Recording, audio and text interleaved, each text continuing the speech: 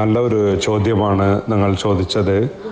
ഇപ്പോൾ കീമോതെറാപ്പി കുറച്ച് ദിവസം കൊടുത്തുകൊണ്ടിരുന്നാൽ പിന്നെ റെസിസ്റ്റൻസ് വരും.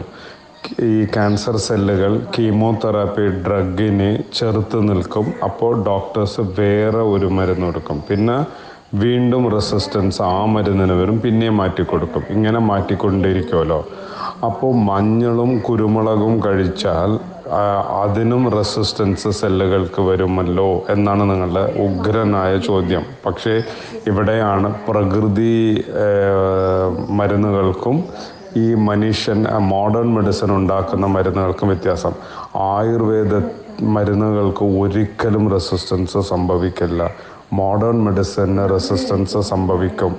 ക്യാൻസർ സെല്ലുകൾ മാത്രമല്ല നമ്മളുടെ സെല്ലുകൾ പോലും റെസിസ്റ്റൻസ് സംഭവിക്കും. ഇപ്പോൾ ആസ്മയ്ക്ക് വേണ്ടി ഒരു ഡോസ് മരുന്ന് കൊടുത്തുകൊണ്ടേയിരുന്നാൽ കാലക്രമേണ അവയ്ക്ക് റെസിസ്റ്റൻസ് വരും. പക്ഷേ പ്രകൃതിയിൽ ഭക്ഷണങ്ങൾ മരുന്നുകൾ നമ്മളുടെ ആയുർവേദ മരുന്നുകൾക്ക് സിദ്ധ മരുന്നുകൾക്ക് ഒരിക്കലും റെസിസ്റ്റൻസ് വരില്ല.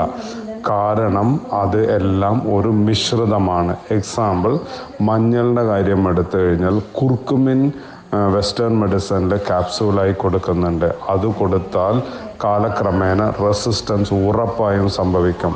അപ്പോൾ ടർമറിക്കിന് നാച്ചുറലായിട്ട് എക്സ്ട്രാക്ട് ചെയ്തതാണ് കുർക്കുമിൻ. അത് നാച്ചുറൽ ആണെന്ന് പറഞ്ഞാൽ ഒരിക്കലും അത് നാച്ചുറൽ ആവുകയില്ല. അവയ്ക്ക് റെസിസ്റ്റൻസ് വരും. വീണ്ടും പറയുന്നു കുർക്കുമിൻ ക്യാപ്സൂളായി കഴിച്ചു കഴിഞ്ഞാൽ ഉറപ്പായും റെസിസ്റ്റൻസ് വരും. പക്ഷേ മഞ്ഞപ്പൊടി കഴിച്ചു കഴിഞ്ഞാൽ അതിലുള്ള കുർക്കുമിന് റെസിസ്റ്റൻസ് വരില്ല. കാരണം മഞ്ഞളിൽ കുർക്കുമിൻ മാത്രമല്ല ഉള്ളത്.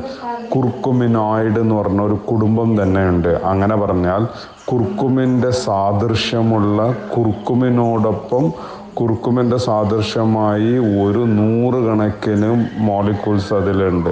ഇതിനെ എല്ലാത്തിനും ചെറുത്ത് നിൽക്കാൻ ഒരുപാട് കോടി വർഷങ്ങൾ സെല്ലുകൾക്ക് വരും. അപ്പോഴേക്കും ഒരു മനുഷ്യന്റെ ആയുസ് കഴിഞ്ഞേക്കും.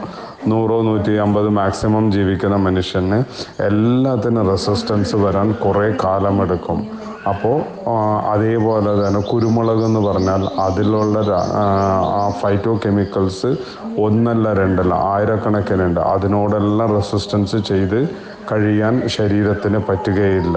അതേപോലെ തന്നെ ആയുർവേദം എന്ന് പറഞ്ഞാൽ ഒരു മരുന്ന് എടുത്തു കഴിഞ്ഞാൽ അതിൽ പല ആയിരക്കണക്കിന് മരുന്നുകൾ മരുന്നുകൾ ചിലപ്പോൾ അഞ്ചോ പത്തോ ആയിരിക്കും. പക്ഷേ ആ പത്തിൽ ആയിരക്കണക്കിന് ഫൈറ്റോ കെമിക്കൽസ് ഉള്ളതുകൊണ്ട് റെസിസ്റ്റൻസ് സംഭവിക്കുകയില്ല അപ്പോൾ അതുകൊണ്ടാണ് ആയുർവേദത്തിൽ ഇതിലെല്ലാം ഒന്ന് റെസിസ്റ്റൻസ് ഇല്ലാത്തത്. അപ്പോൾ മഞ്ഞളും കുരുമുളകും കഴിക്കുകയാണെങ്കിൽ ഒരിക്കലും റെസിസ്റ്റൻസ് വരില്ല. അതുകൊണ്ടാണ് നമ്മൾ എപ്പോഴും പറയുന്നത് ഇപ്പോൾ ഈ മഞ്ഞളിന്റെയും കുരുമുളകിന്റെയും എക്സ്ട്രാക്റ്റായിട്ട് വിൽക്കുന്നുണ്ട്. അത് റെസിസ്റ്റൻസ് സംഭവിക്കും. അത് കഴിക്കാൻ പാടില്ല.